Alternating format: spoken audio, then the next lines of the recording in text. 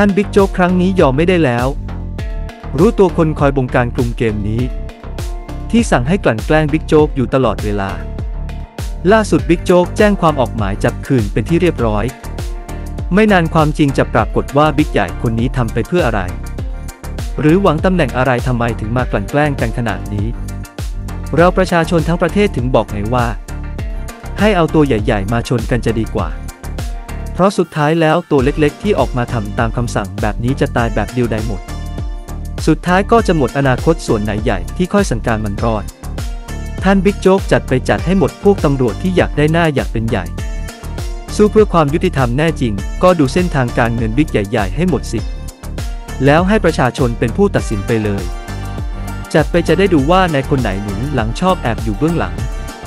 ประชาชนเห็นใจท่านบิ๊กโจ๊กทุกกรณีเลย เหมือนสกัดการดำรงตำแหน่งสูงขึ้นขบวนการ discredit ในวงการนี้ ท่านบิ๊กโจ๊กเปิดเผยความจริงเลย ถ้าท่านไม่ผิดถ้าท่านไม่ทำก็จะถูกใส่ร้ายป้ายสีแบบนี้ตลอดไป ท่านเป็นตำรวจของประชาชนตัวจริง ทุกครั้งที่ประชาชนร้องเรียนก็มาร้องที่ท่านรองโจ๊กตลอด เพราะท่านทำงานแล้วประชาชนไม่มีผิดหวัง แล้วเรื่องสวยทางหลวงเรื่องงอกำนันนกไปถึงไหนแล้วนะ ที่เห็นเห็นนี่มามุ่งเน้นเรื่องบิ๊กโจ๊กที่กำลังจะก้าวหน้าในหน้าที่การงานกว่าใช่หรือไม่ ท่านโจ๊กแฉมาให้หมดเลยในเมื่อเขาต้องการกำจัดเราเราก็ไม่ต้องไว้หน้าใคร เพราะประชาชนทั้งประเทศที่รักท่านรอฟังอยู่ เราประชาชนไม่เคยเห็นตำรวจระดับใหญ่ ๆ ออกมาฟ้องร้องแบบนี้มาก่อนคราวนี้บอกเลยมันแน่นอน รอดูฝ่ายไหนจะแพ้จะชนะ ขึ้นอยู่กับใครมีพรรคพวกเยอะ และมีเส้นใหญ่หนุนหลังแต่ดูแล้ว เหมือนจะบิ๊กโจ๊กเสียเปรียบนิดๆ เพราะไม่มีบิ๊กใหญ่ๆหนุนหลังก็มีแต่ประชาชนทั้งประเทศที่คอยเป็นกำลังใจให้ท่านโจ๊ก วัดพลังภายในกันสักตั้งพลังลมปราณใครจะดีกว่ากันศิษย์ต่างสำนัก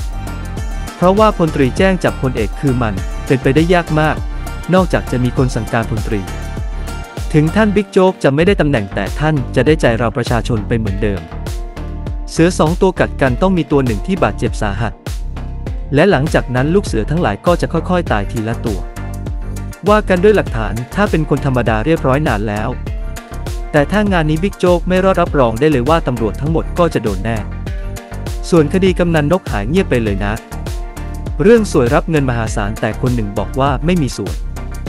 นายตำรวจน้ำดีต้องมาเสียชีวิตฟรีๆหรือเปล่านะ